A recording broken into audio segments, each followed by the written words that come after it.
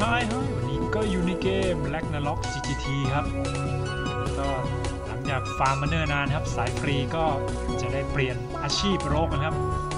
เปลี่ยนมาแล้วครับตัวนี้ครับ แต่จะพาไปเปลี่ยนครับสำหรับผู้เล่นใหม่ครับสำหรับใครที่ยังไม่รู้ครับ คนเก่าอาจจะรู้แล้วครับ แต่หลาย ๆ คนที่มาเล่นใหม่อาจจะไม่รู้สำหรับที่เปลี่ยนเป็นโรกครับก่อนอื่นต้องจ็อบ50 ก่อนเนาะแล้วก็เป็น Thief job 50แล้วเราก็ warp ไปครับ ตังค์ไปด้วยนะฝากไว้ครับสายฟรี2ล้านกว่าครับ teleport ครับ teleport แรกครับ ไปลงที่เมือง Morroc ครับไปเลยฟิ้ว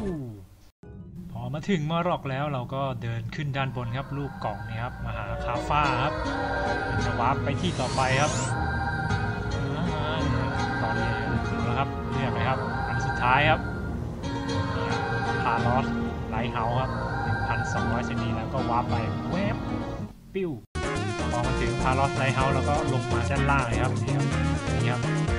ได้ผ่านบันไดใหญ่มาครับนี่ครับมีหลุมเลยครับให้ลงไปครับเลยออมไปครับ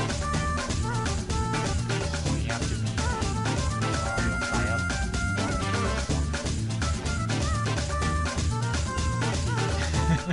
เดี่ยวลงมาครับ แล้วเราก็เดินลงมาครับด้านล่างเลย ไปสนใจชั้นนี้ครับ มันจะมี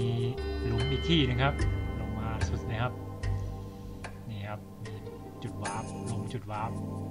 แล้วก็ลงบันไดต่อมาครับ นี่ครับ ก็จะเจอนี่ครับโรกกิลเปลี่ยนง่ายครับจ็อบ50 แล้วไม่ต้องทำเควสด้วยโรกกิลแมนครับแนะนำให้มาที่จ็อบ50 ครับ จะเปลี่ยนได้เลย ไม่ต้องไปวิ่งเควสให้เสียเวลา โอเคครับ หวังว่าจะเป็นประโยชน์สำหรับมือใหม่วันนี้ก็ ฝากไว้แค่นี้ครับ พบกันใหม่ในโอกาสต่อไป วันนี้ก็ลาไปก่อน สวัสดีครับผมสูงเลยอู้มีดอลลี่เป็นไง